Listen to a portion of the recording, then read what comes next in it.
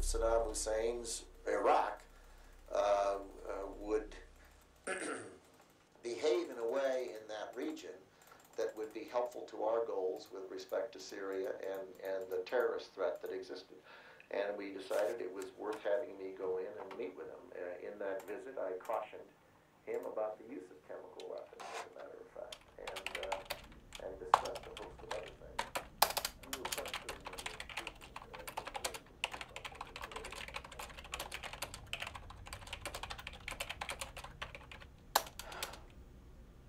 during this, uh, this. Where did you get this video? From the Iraqi television? This is from Iraqi television. When did they give it to you? You know what I think? I, I think they're pawning this off on a little nobody post house so they don't have to get their hands dirty.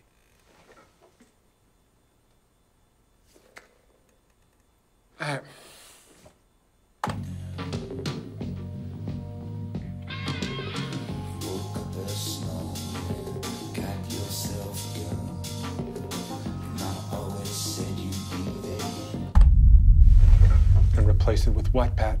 I don't know, a shot of Tony driving or something, or shots of the road. I mean, I get it. It's their first episode back. It would be uncouth to leave it as is. People are looking for someone to make a stand. Come on, Frank. I mean, with all due respect, taking it out is like doing the attack all over again. This is a 15 minute snip, Frank, especially for you. This would be a great opportunity to level up. Just do it. Oh, hi, Michael. Hey, Patty. Hey, Frank. I got the end credit fix uh, that you asked for. Uh, if you want to take a look before we print a tape.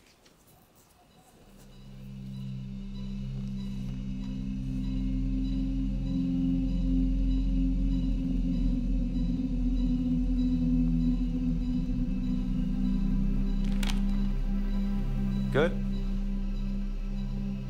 Oh, uh, yeah. Yeah, it looks good. Lunch? I mean, everywhere you look, we- we're doing exactly what they want us to do. It's real evil out there, man. And God just needs us to root it out. I mean, I've been thinking. We got an opportunity here to, to wake people up. I, as an editor, you, you gotta take personal responsibility like, for everything. Like, it's not all just, you know, listen to the higher ups. Hey, I'm following orders. Snip, snip. People, they, they, they don't really know what they want until you show it to them. And so some, sometimes you got to take matters into your own hands. Like the buck stops with you. Hey, I told you I got screwed out of cutting John Q, right?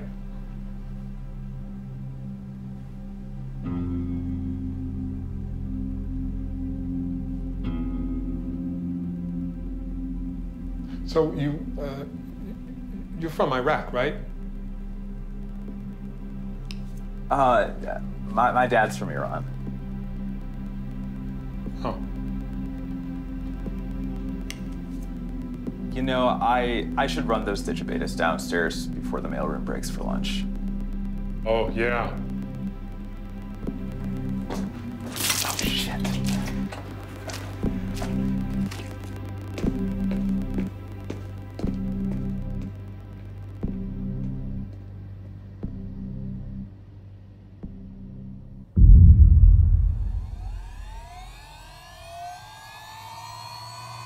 Gentlemen, thank you so, so much for coming over here and for trusting us with this. We are such enormous fans of the show and uh, really excited to be a part of it, uh, even under such heavy, heavy circumstances. So, without further ado, Nope, we really don't need to. It's just a quick swap, right? Screen it.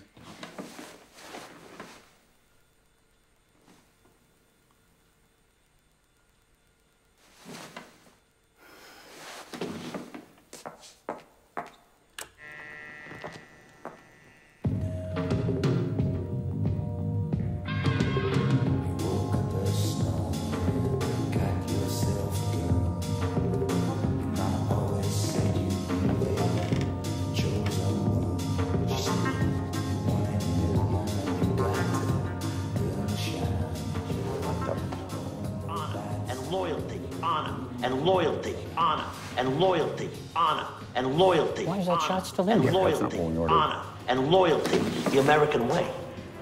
I don't know why they put that in there like that. I have no idea. It was supposed to mean, be taken out.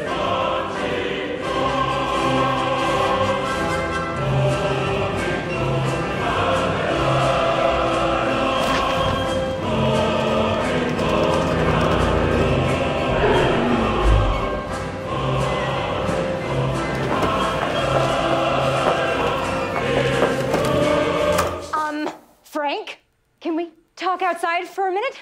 Uh, please excuse the technical difficulties. Michael, get their lunch orders. Okay. So um, for lunch, we have Chinese, sandwiches, or Italian.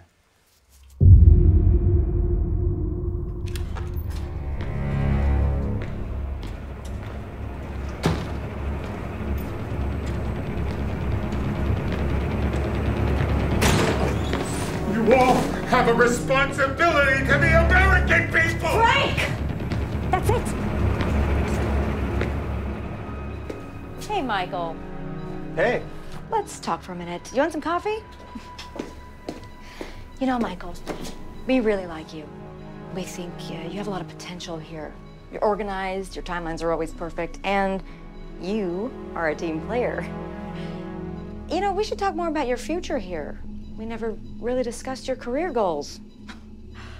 Uh, and about earlier, Frank's been going through a lot lately. Some stuff at home, you know?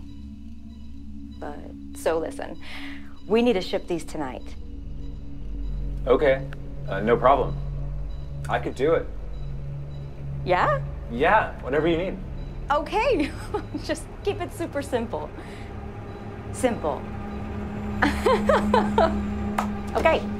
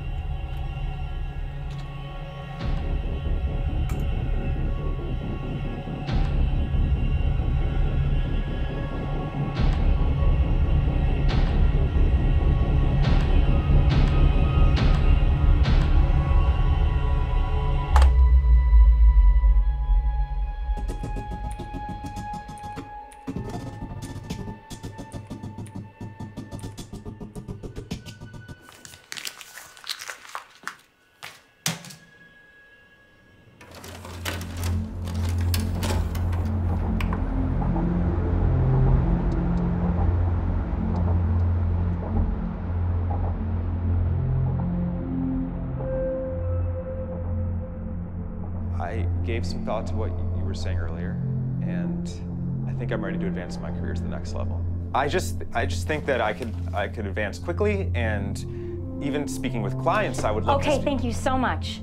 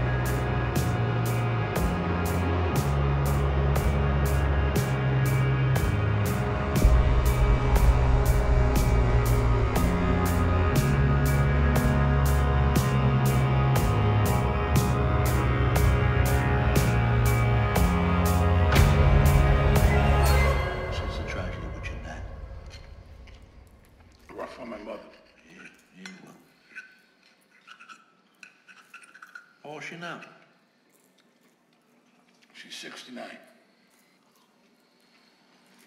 You know, Quasimodo predicted all this. Who did what?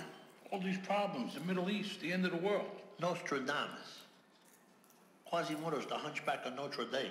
All right.